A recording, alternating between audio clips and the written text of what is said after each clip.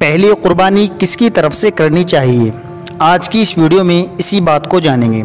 अस्सलाम वालेकुम वरहमतुल्लाहि वबरकातुहू।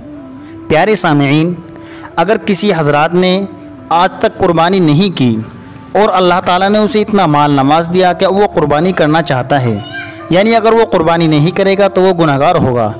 तो अब उसके सामने सवाल ये है कि वो पहली कुर्बानी किसकी तरफ़ से करे? अपनी तरफ़ से करे या अपने वालदेन या औलाद की तरफ़ से करे, या हुजूर सल्लल्लाहु अलैहि वसल्लम की तरफ़ से करे। इसका आसान जवाब और सही जवाब तो यही है कि पहले अपनी तरफ़ से करे। लेकिन, अगर उसने अपनी तरफ़ से कुर्बानी न करके अपनी औलाद, अपने वालदेन या हुजूर सल्लल्लाहु अलैहि वसल्लम की तरफ़ से कुर्बानी कर दी तो वो गुनाहगार होगा। यकीनन हुजूर सल्लल्लाहु अलैहि वसल्लम की तरफ़ से क़ुरबानी करना बड़ी सआदत की बात है।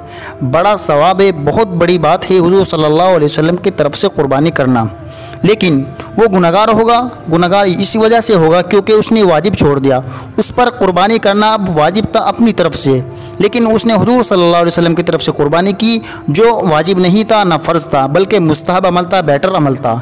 वाजिब को छोड़ने की वजह से वो गुनागार होगा। लेकिन जो उसने कुर्बानी की है हुजूर सल्लल्लाहु अलैहि वसल्लम की तरफ़ से, उसका, उसको सवाब ज़रूर मिलेगा।